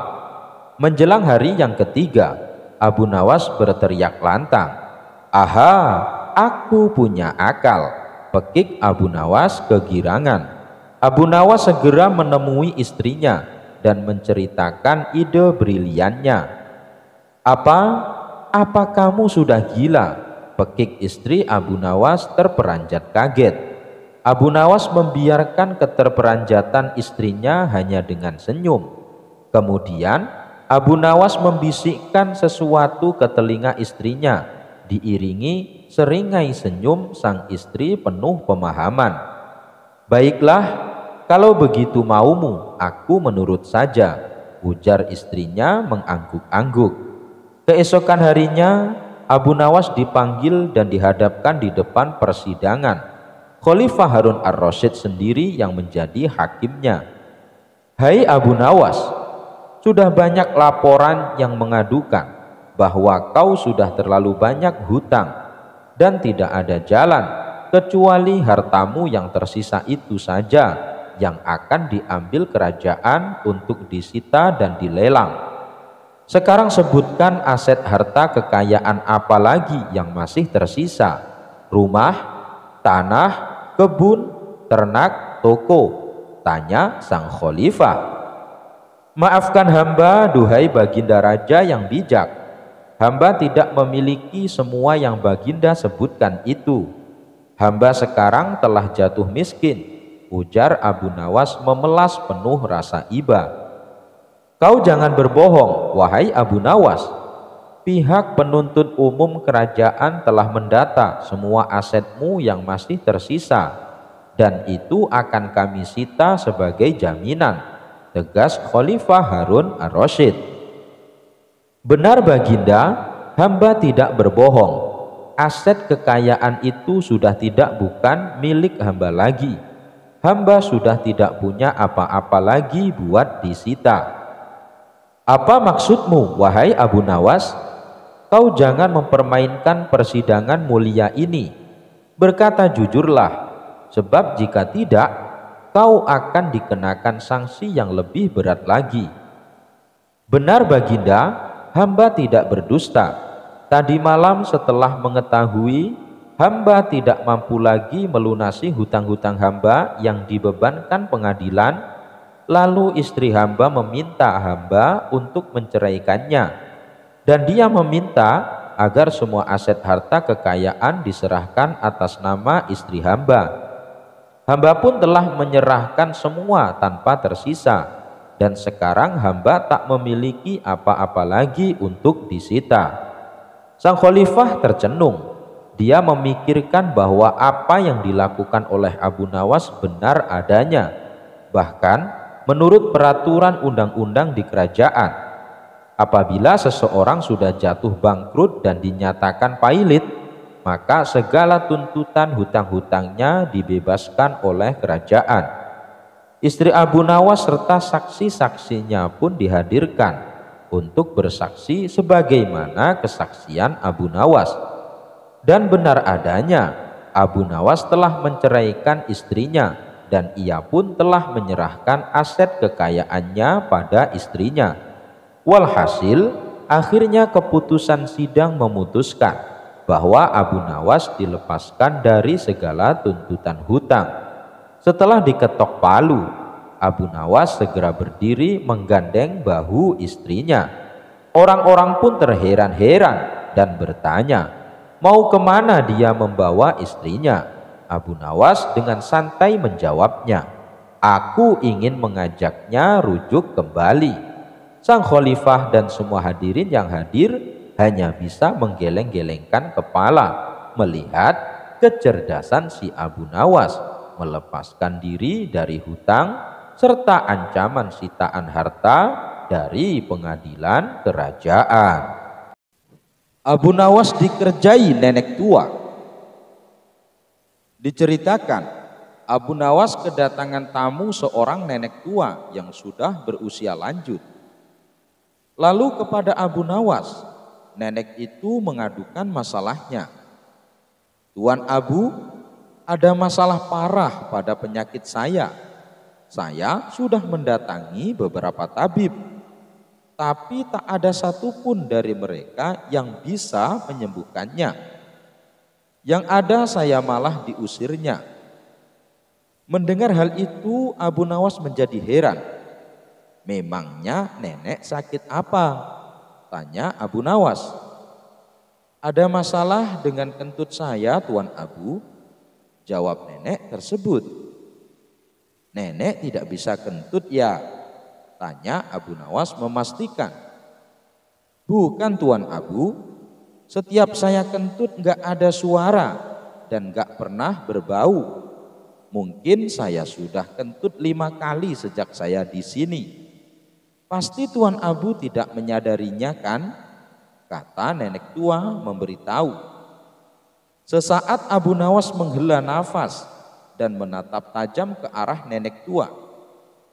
Baiklah, nenek minum ramuan ini dan minggu depan datanglah ke sini, kata Abu Nawas. Setelah seminggu berlalu, nenek itu pun kembali mendatangi Abu Nawas. Wahai Tuan Abu, saya tidak tahu ramuan apa yang Tuan berikan. Tapi ampun deh, kentutnya tidak bunyi tapi baunya parah banget. Kata nenek tua. Bagus, berarti hidung nenek sudah pulih. Sekarang kita urus pendengaran nenek. Balas Abu Nawas.